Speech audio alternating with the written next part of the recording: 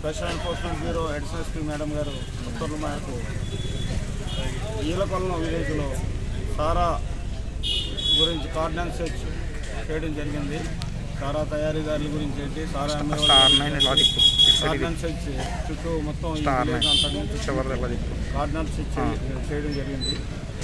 మేము సుమారు ఒక యాభై మంది స్టాఫ్ ఒక ఇద్దరు ఇన్స్పెక్టర్లు ఒక ఎస్ఐ గారు నేను ఒక డిఎస్పీని మిగిలిన మొత్తం కలిపి ఒక యాభై మంది స్టాఫ్ ఈ గ్రామంలో సెర్చ్ గ్రామం మరియు చుట్టుపక్కల పొలాల్లో సెర్చ్ మనకి రెండు వందల నలభై లీటర్ల ఐడిఆర్ఎక్ పదకొండు మంది ముద్దాయిలు అట్లాగే ఆరు వేల ఆరు వందల లీటర్ల వాష్ అంటే తయారీకి సిద్ధంగా ఉన్న ఓట సారా తయారీకి సిద్ధంగా ఉన్న ఓటని ధ్వంసం చేయడం జరిగింది.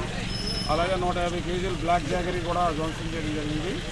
దీనికి ఉపయోగించే ముడిసరికి అనమాట ఇదంతా అలాగే మనం మిగిలిన డ్రమ్స్ దానికి సంబంధించిన పాత్రలన్నీ కూడా సీజ్ చేయడం జరిగింది. ఈ పదకొండు మందిని కూడా రెండు వందల నలభై లీటర్లతో ఐడిఆర్ఎఫ్ అరెస్ట్ చేయడం జరుగుతుంది. కాబట్టి ఈ గ్రామంలో చాలా ఎక్కువ ఉందని మనకి ఇన్ఫర్మేషన్ బాగా జరుగుతుంది. ఇది నిరంతర ప్రక్రియ. దీంట్లో కాంప్రమైజ్ చేయడం లేదు. దీనివల్ల ప్రజల మరియు special enforcement bureau additional SP madam గారి ఉత్తర్వుల ప్రకారము ఈరోజు ఉదయం తెల్లవారుజాము నుంచి అదే మూడు గంటల నుంచి కూడా రైడ్స్ని రైడ్స్ని కండక్ట్ చేయడం జరిగింది. ఈలకొలను గ్రామము అనేది రంగంపేట మండలంలో A category village? A category village అంటే అర్థం ఏంటంటే ఎక్కడైతే భారీగా సారా తయారు చేసి ఇతర ప్రాంతాలకి ట్రాన్స్పోర్ట్ సప్లై చేయబడుతుందో ఆ విలేజ్ని ఏ కేటగిరీగా డిసైడ్ చేయడం జరుగుతుంది? మీ విలేజ్ ఆ కేటగిరీలో ఉంది. కాబట్టి మీ విలేజ్లో ఈ సారా తయారీ అనేది మీ ఒక్క విలేజే కాదు చుట్టుపక్కల ఉన్నటువంటి ఎన్నో గ్రామాలని నాశనం చేస్తున్నారు. దయచేసి మీకు చెప్పదలుచుకున్నది ఒకటే ఈరోజు చట్టం చాలా కఠినంగా ఉంది.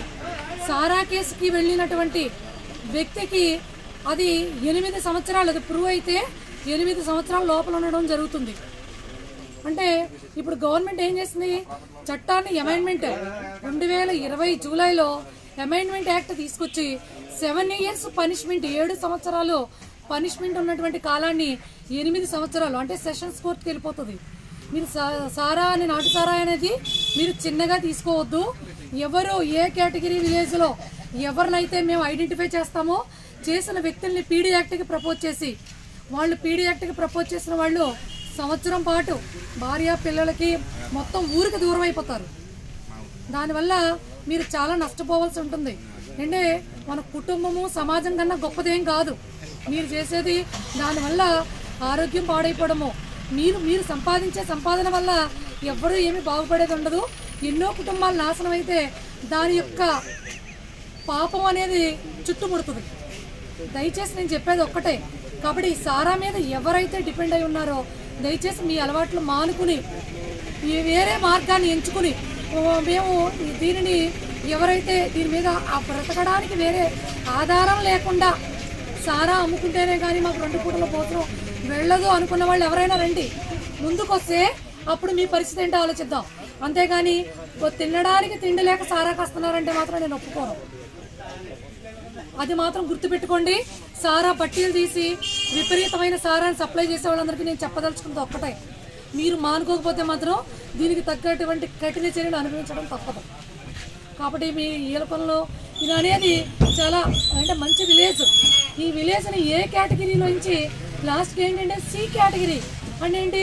అక్కడక్కడ ఎవరో అమ్ముకుంటున్నాడు అనే పరిస్థితికి రావాల్సిన సిచ్యువేషన్ అది రావాలని నేను మనస్ఫూర్తిగా కోరుకుంటున్నాను. Please like and share subscribe to BCN Telugu news please like share and subscribe to BCN Telugu news